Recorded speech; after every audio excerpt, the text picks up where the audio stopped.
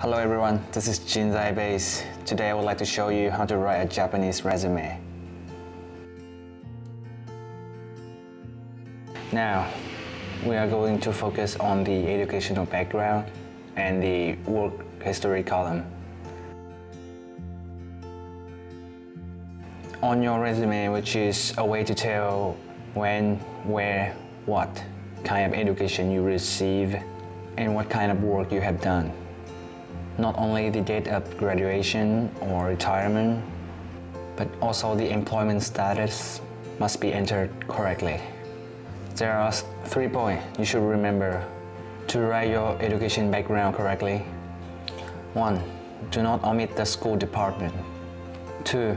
As the general rules, you should write your education background from high school. 3.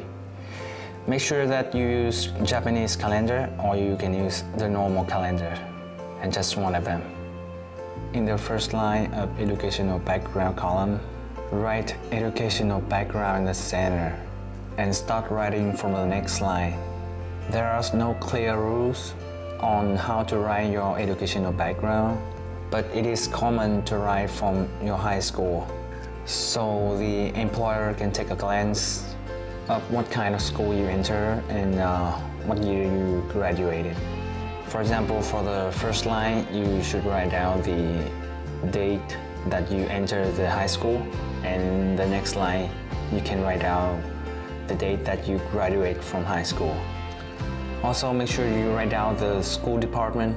What kind of subject did you learn in high school?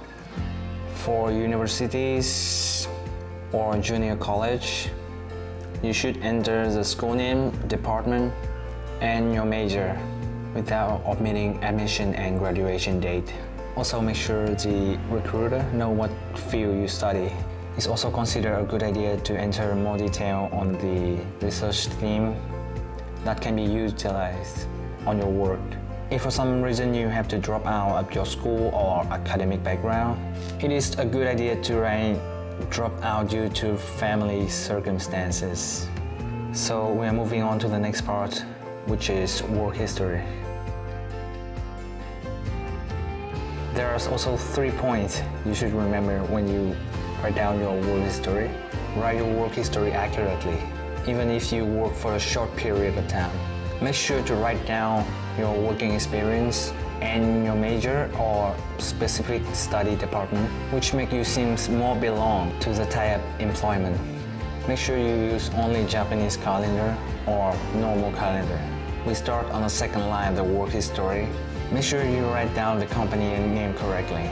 Do not abbreviate the company name, for example, Kabushiki Kaisha. You shouldn't write as Kabu or Yugen Kaisha.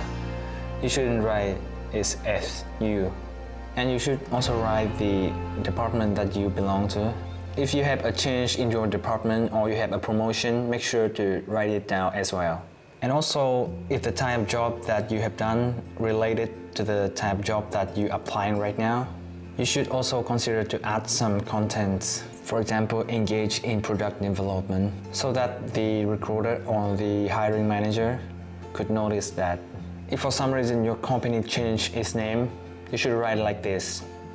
Company name, bracket, old company names. If you work as a non-permanent employee, write down as contract employee. For dispatch employee, specify the dispatch source and destination. For example, dispatch from company A to the company that you're working in.